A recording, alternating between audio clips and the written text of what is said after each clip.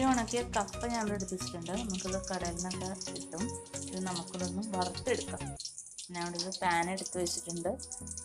നമുക്കിതൊന്ന് വറുത്തെടുക്കാം. ചൂടായി കഴിയുമ്പോൾ ജസ്റ്റ് ഒന്ന് വറുത്തെടുത്തിട്ട് നമുക്ക് ഇനി എന്താണോ ഒരു പലഹാരം ഉണ്ടാക്കാൻ പോവാണ് എന്താണെന്ന് നമുക്കൊന്ന് നോക്കാം. ഇവിടെ എണ്ണ ഒഴിച്ചിട്ടുണ്ട്. എണ്ണ ചൂടായിട്ടുണ്ട്. നമുക്കിതിലേക്ക് ഒന്ന് വറുത്ത് എടുക്കാം.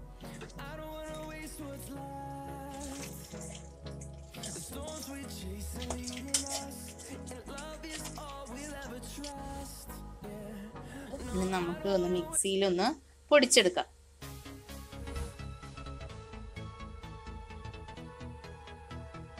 ശർക്കരയാണ് എടുത്ത് വെച്ചിട്ടുള്ളത് നമുക്കൊന്ന് ചീക്കി റെഡിയാക്കി എടുക്കാം ഇട്ടൊന്ന് പൊടിച്ചെടുക്കാം. പൊടിച്ച് എടുത്തിട്ടുണ്ട്. ശർക്കര ചേർത്ത് കൊടുക്കാം. തേങ്ങ നമുക്ക് ചേർക്കാം.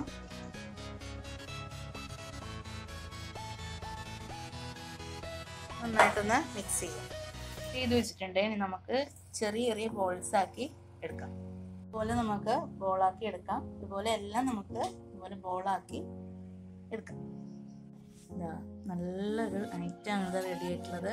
അപ്പം എല്ലാവരും ഇത് ട്രൈ ചെയ്യുക. കുട്ടികൾക്കും മുതിർന്നവർക്കും എല്ലാവർക്കും ഒരുപാട് ഇഷ്ടപ്പെടുന്നതാണ്. നാല് മണി പലഹാരമായിട്ടൊക്കെ നമുക്ക് യൂസ് ചെയ്യാം. അപ്പം എല്ലാവരും ഇതൊന്ന് ട്രൈ ചെയ്ത് നോക്കുക അഭിപ്രായം പറയാം